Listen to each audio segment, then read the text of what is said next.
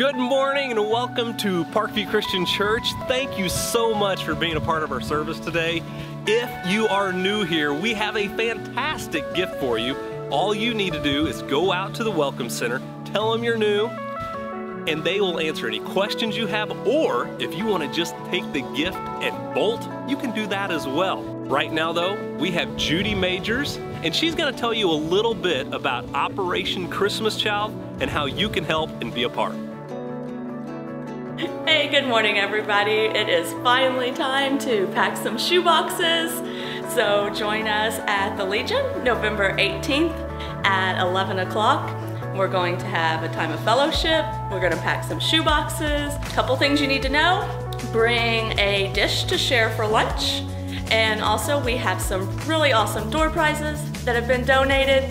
So bring a 10 pack of ivory soap for a chance to win one of those. We will see you on the 18th.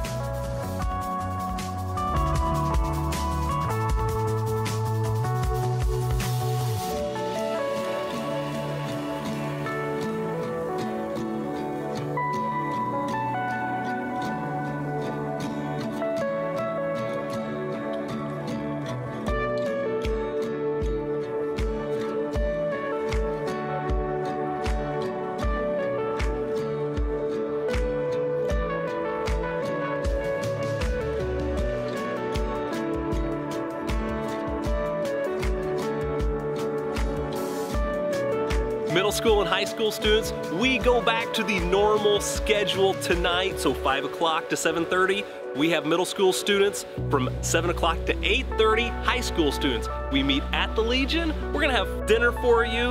And we are also gonna have lesson and games and all that as well. You won't want to miss that tonight.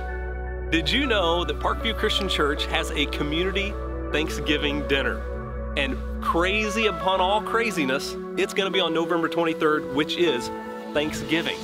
But we need all of your help. This is one of those all hands on deck type of events. We need everybody contributing to make this an amazing gift to Mount Carmel.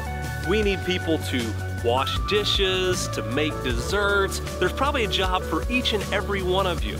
All you need to do is go out to the foyer after service, sign up, and there'll be someone there to answer all of your questions. So you can do that right now. Have a wonderful day, and we'll see you next week.